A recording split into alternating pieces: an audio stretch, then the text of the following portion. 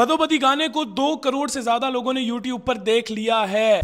लड़ी बदोबदी नाजरीन, बदोबदी का मतलब क्या है? बदोबदी का मतलब है ज़बरदस्ती फोर्सफुली बदोबदी, अब इस गाने में इस्तेमाल किया गया है इस तरीके से कि अख लड़ी बदोबदी मतलब कि आँख आँख के साथ लड़ी है, आँख आँख के साथ मिली है, ज़बरदस्ती फोर्सफुली नाजरीन, ये गाना गाया गया था नूर जहाँ साहिबा की जानब से. नूर जहाँ साहिबा की जानब से ये 1980s में गाया गया था. आज से 12 साल पहले किसी शख्स ने इस गाने को यूट्यूब पर भी अपलोड किया था. नाजरीन 12 साल पहले जो नूर जहाँ साहिबा का ये गाना यूट्यूब पर पोस्ट किया गया था अभी तक उस गाने के ऊपर तकरीबन 7.6 मिलियन व्यूज़ हैं।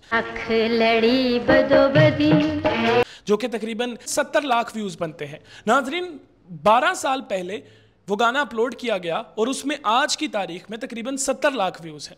और जो चाहत फ़तेह अली ख़ान साहब ने गाया, उसको एक महीना हुआ है। एक महीने में चाहत फ़तेह अली ख़ान साहब के बदोबदी गाने के ऊपर तकरीबन दो करोड़ से ज़्यादा व्यूज़ आ चुके हैं। नाजरीन बदो बदी गाने को ना सिर्फ़ पाकिस्तान में, बल्कि इंडिया में और दुनिया के दूसरे ममालिक में भी मकबूलियत हासिल हो रही है। नूर जहाँ साहिबा ने जब इस गाने को गाया, तब इसको इतनी मकबूलियत नहीं मिली। लेकिन चाहत फ़तेह अली ख़ान साहब ने जब इसे गाया तो ये देखते ही देखते गाना पूरी दुनिया दुनिया में छा गया। यहाँ तक कि दिलजीत दोशांत, जो कि इस वक्त इंडिया के बेहतरीन सिंगर समझे जाते हैं, उन्होंने भी ओए होए अपने व्लॉग में इस गाने का इस्तेमाल किया। बहुत से लोगों का चाहत फतेह अली खान साहब से इख्तलाफ होगा, लेकिन आप इख्तलाफ नहीं कर सकते। देखिए, एक कंटेंट क्रिएटर हमेशा वही चीज़ बनाता है जो दुनिया देखना चाहती है। अब आप लोग देखना ही यही चाहते थे कि चाहत फतेह अली खान साहब ये बोले अख लड़ी बदोबदी।